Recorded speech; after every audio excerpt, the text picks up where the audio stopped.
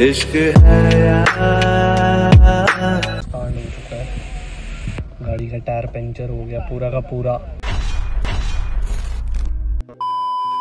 तो hello guys welcome back to YouTube channel अभी मैं वेट कर रहा हूँ मम्मा पापा का, और अभी मेरा भाई लेने गया है हम, उन सबको।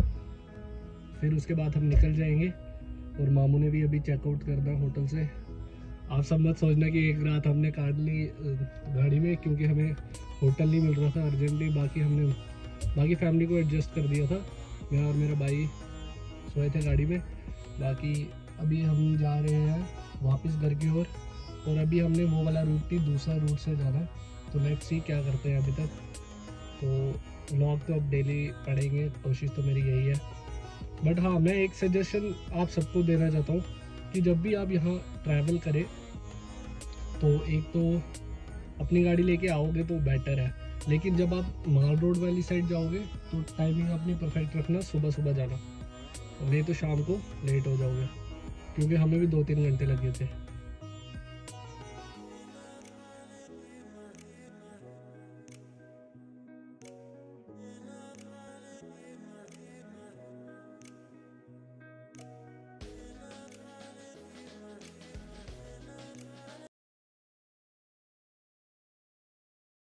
गाइस कांड हो चुका है। गाड़ी का टायर पंचर हो गया पूरा का पूरा। और मेरे, मैं व्लॉग नहीं बना पा रहा हूँ। अभी मैंने टायर लगाया अभी मैं हैंड ब्रेक पकड़ के बैठा हूँ।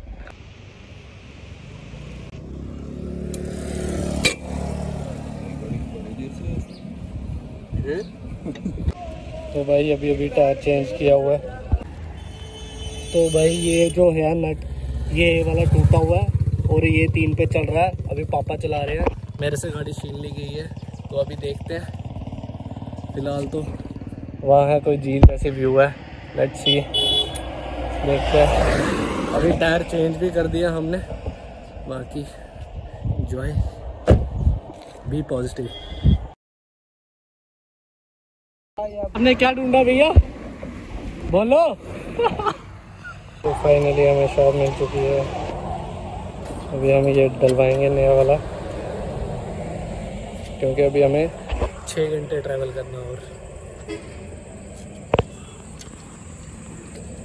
तो भाई, अभी हम वेट कर रहे हैं और थक चुके हैं। भैया गया नट लेने और काफ़ी टाइम हो गया। अभी हमें छः घंटे भी ट्रैवल करना होगा, है ना? भैया को कि भेजो, वो गाड़ी हमारी लगी है, मैं तुम्हें दिखाता हूँ गाड़ी। ये हमारी गाड़ी एक और मसला है, जो पंचर हुआ था टायर, वो भी पंचर से ठीक करवाना, क्योंकि हमने ये नया टायर डाला और जो जो नट होते हैं, स्टड, उसको हमेशा मशीन से मत कराना, बाय हैंड ही करना।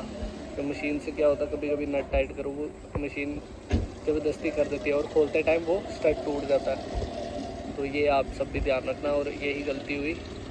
पहले का करवाया होता जब खोलने लगे, वो खुलते ही टूट गया। तो फाइनली अब हमें मिल गया है तो सही है। पहुँच जाएँगे बेशक लेट पहुंचेगा लेकिन करवा लेंगे ठीक।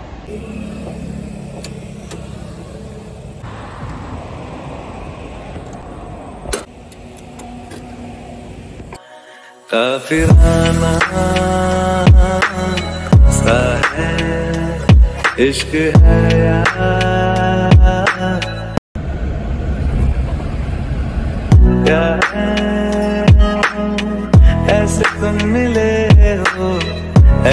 तुम मिले हो। जैसे मिल रही हो इत्र से हवा।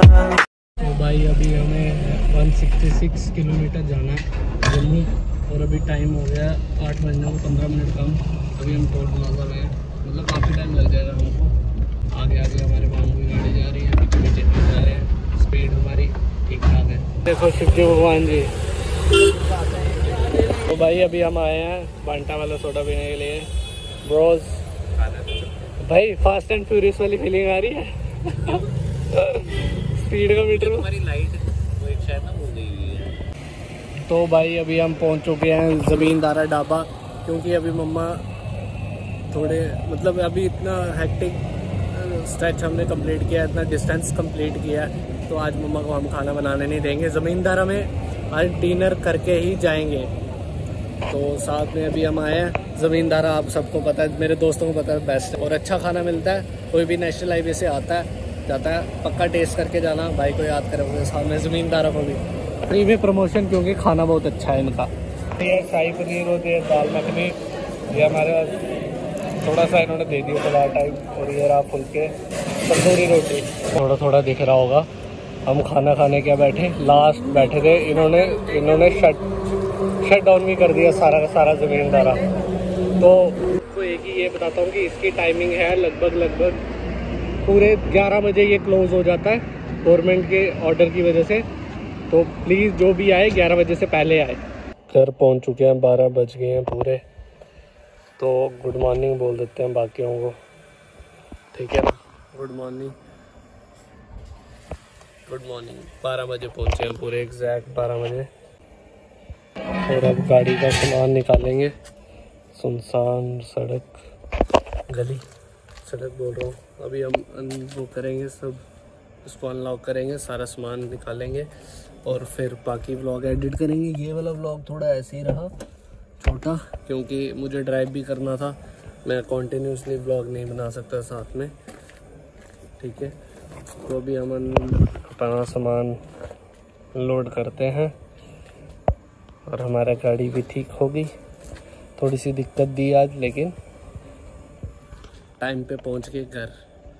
तो जिसको भी ये ब्लॉग पसंद आया लाइक शेयर सब्सक्राइब और कमेंट करना। जय हिंद, जय भारत।